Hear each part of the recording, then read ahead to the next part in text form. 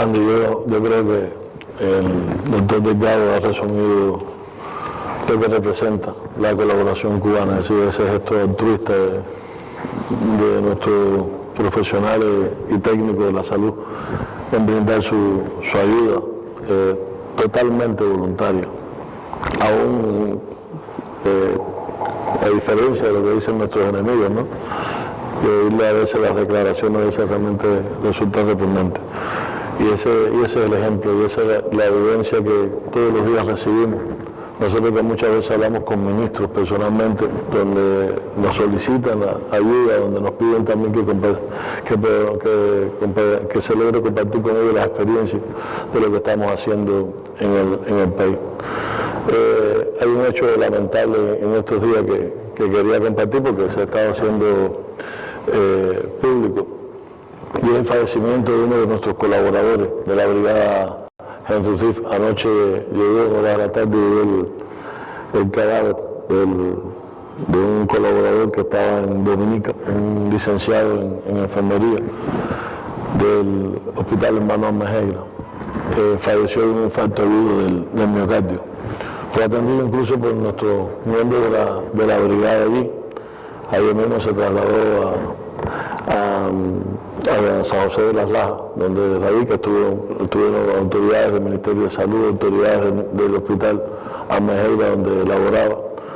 El cadáver del colaborador fue eh, acompañado por el ministro de Relaciones Exteriores hasta su salida de allá de Dominica y también se recibió del primer ministro una carta de condolencia a la, a la familia. Realmente fue para nosotros muy doloroso porque era un joven licenciado de 42 años que se demostró en la tarea patológica que había eh, un infarto del miocardio que lamentablemente le generó la muerte y formaba parte de la brigada Henry Riff que hacía muy poco había partido hacia Dominica, aunque él había estado recientemente también cumpliendo misión en, en Bolivia.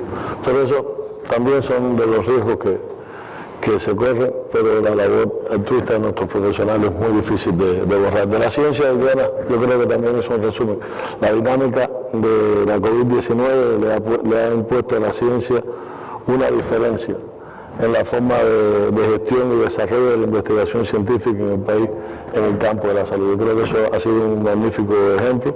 Esa constitución del Comité de Innovación le da un cambio a la, ciencia nos ha permitido realmente hablar en apenas dos meses de cuatro ensayos clínicos, de más de 70 investigaciones. Eso da, Adriana, más o menos siete investigaciones por semana, las que se han estado poniendo en función y en función de la, de la COVID, y es justo ese reconocimiento que ella hacía a los, a los investigadores de los centros de a los investigadores que desde los centros de investigación científica del país han estado eh, participando. Por lo tanto, Toca ahora continuar mirando hacia adelante, el tiempo que reste de enfrentamiento a este virus, lo hagamos mejor de lo que lo hemos hecho hasta ahora, que las experiencias que hemos adquirido con esta pandemia podamos aplicarlas también a otras experiencias, es decir, ahora nos enfrentamos eh, en esta etapa de un crecimiento de la, de la infestación por el mosquito de Haití y tenemos que seguir trabajando como población en eliminar los riesgos porque no sería razonable tener que enfrentarnos entonces también al, al A una epidemia por dengue. a una epidemia por dengue. Por lo tanto, llamo también a la población a trabajar en ese,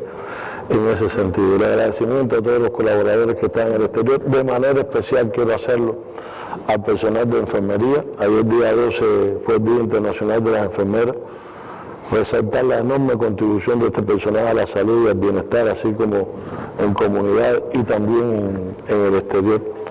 Este año la OMS dedicó el año a la labor de enfermería y, fue un año donde realmente se han crecido nuestras enfermeras en la batalla por la salud de- del pueblo, no solo en Cuba, sino también como se ha demostrado en el exterior. Cuba tiene más de 84 mil profesionales de esta rama de la ciencia médica con una de las mejores tasas de enfermeros por 10 mil habitantes de, la, de las Américas. Yo creo que, que ese reconocimiento es muy justo en el medio de este escenario para ese personal tan valioso para el, para el sistema de salud. Reconocer siempre los organismos, es decir, eh, no, a veces las personas ven el tema de la salud, pero prácticamente la participación de todos los organismos ha sido esencial en la batalla que estamos desarrollando y que tenemos que seguir.